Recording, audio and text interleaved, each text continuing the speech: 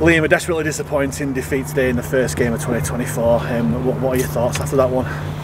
Yeah, same as everybody else, disappointed. Um, well, we knew it was going to be a tough game. Uh, we knew it was going to go to the end of the game, but um, we're disappointed as a group with, with how we let it get to the end of the game by um, by being a victim victim victim of our own um, mistakes and putting ourselves under too much pressure um, and ultimately giving ourselves too much to do half time we went in with that Greg Eden try which gave us a little bit of hope. What, what were your words at half time um, to, to, change that in the second half? Yeah well obviously we, we gave away an interception try um, at the start of the game when we were on top which um, uh, flipped momentum pretty quickly and it took us 15, 15 minutes to get that back and then we scored a try um, and looking like going into half time at, at 6-4 um, and then obviously um, conceded a late try which were which were disappointing and um, put us behind the eight ball again and chasing the game a little bit and we knew half time we needed to come out in the second half and and get them back under fatigue a little bit um, which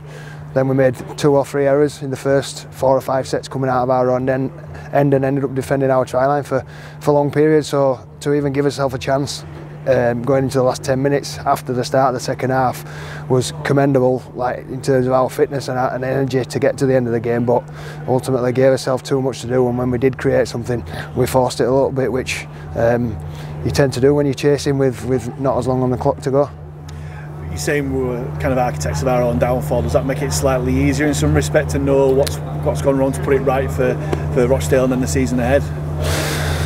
Uh, I don't know if it makes it easier. It's, it's still tough to take. Um, obviously, on, on, paper, it looks like an awful result. Um, there, but we, we, knew all along that this were as, as, much of a championship game in terms of standard and, and the opposition as, as, we were going to face, and um, and we had to front up and, and, deal with it. And you know, a couple couple of things didn't go our way, and uh, gave ourselves a, a, lot to chase, and gave ourselves a chance with with three minutes to go. Um, and then obviously we were forcing it right at the end, which um, try to get something in the last set of the game. If you leave it till that late, then you, you're, you're running the, the risk of, of doing something like that. So yeah, uh, really disappointed. We're aware that we've got plenty to work on. We knew that we're going to be the case regardless of result today. We're never going to be perfect, but um, there are a few more unforced errors and probably lack of composure that, that, than we would have liked there were some positives there. Greg Eden got a couple of tries on debut, and Connor Davis was strong off the bench. Can you can you reflect on those positives and think, yeah, we've got something going there, or is it one of those where it's the, the, the result matters more?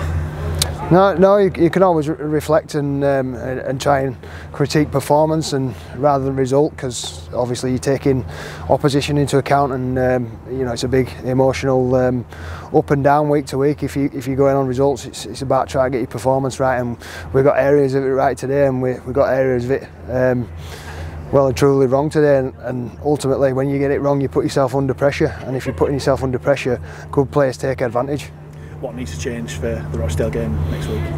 And we need to look after the ball a little bit more, stay a little bit more composed when, when we're in possession. Um, uh, yeah, that's pretty much the, the main takeaways and keep the opposition away from your line as, as long as you can.